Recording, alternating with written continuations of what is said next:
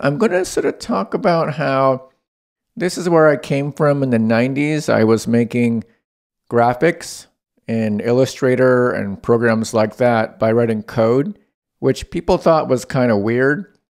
They didn't like it because they thought I was cheating. When you start using a new technology for anything, people are surprised by it. They're usually afraid of it because it's kind of like a change in perspective. You know, I just switched perspectives there. It's like, whoa, what happened? Well, it's change, and most people don't like change. Now, AI, it turns out it happens to be uh, not the next thing, but it already kind of happened, if you haven't noticed.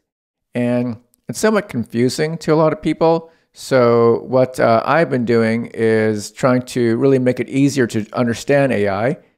To understand this new kind of AI, you know, a regular computer program, if you take 12 and you add 12 to it, it becomes 24, and you're like, good job, computer. You did the right thing.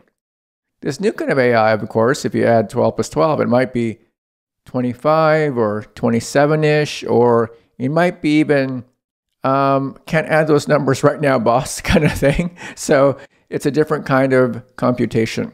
It's kind of a West Coast style computation, kind of laid back, you know?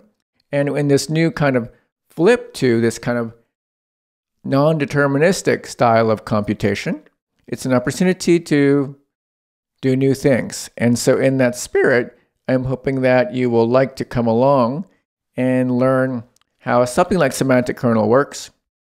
It is what's called an AI orchestrator.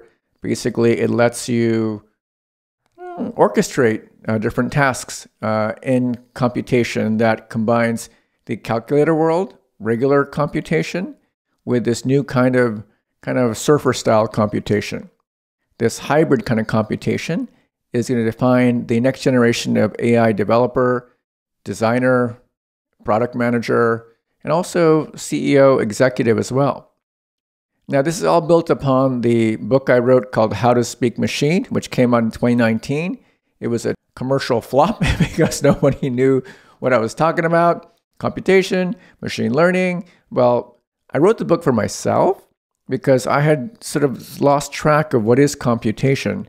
I went to MIT, studied engineering, went to design, got my MBA, and kind of been bouncing around a bit. Now, when these three things have come together around this new powerful kind of AI, wow, I feel really great. So, if you want to learn more about AI, the practical uses of it, useful things around AI, I'm going to gather them together in this new series of content. And I have a new studio here in my house, so I can basically do stuff like this and you saw the sort of fancy fade, things like this. Wow, it's so easy in 2023. But to be honest, I'm not like the amazing Gen Z video makers who can make a video every other day or even every day. So uh, now that I have a, a, static studio, I have more capacity.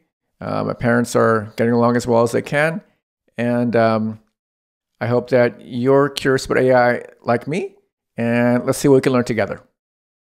See you soon.